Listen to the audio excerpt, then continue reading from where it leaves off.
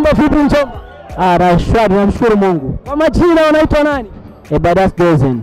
Ebadas Doze, umewapa rushwa mashabiki wa kushangilia? Hapana, sijawahi, ila nafikiri kazi unayoifanya lazima mashabiki wanaiona. Mimi sijajiandaa kwa kitu chochote.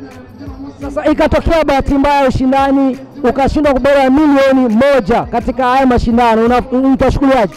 Ah, nafikiri kila siku mshindi waga ni umoja. Tumeshindana watu kumi na tisa, hatuwezi kushinda wote. Mshindi atakuwa ni umoja tu. Tuta, tu- tutapokea matokeo kama yalivyo, kwa kuwa tumezoea, sio mbaya. Na ikitokea tunabeba milioni moja inakuwaje?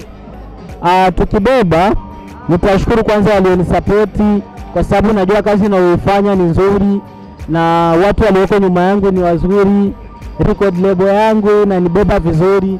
Kwa hiyo mimi sidhani kama kuna kuna kitu kibaya. Tutazifanyisha nini hizo pesa? Ah, mimi nafikiri pesa, hilo swala nilishindwa kulijibu mpaka redioni Izere FM, nilishindwa kulijibu. Kwa pata kwanza pesa ndio ufanye unachokitaka. Ah, mimi sipendi ku, kuingilia ndoto sana. Ndoto za kawaida, kila mtu anaota, lakini mi sipendi kuchukulia ndoto sana kuwa kweli, no. Mashabiki zako wanawaambia nini kama utashindwa upate milioni moja?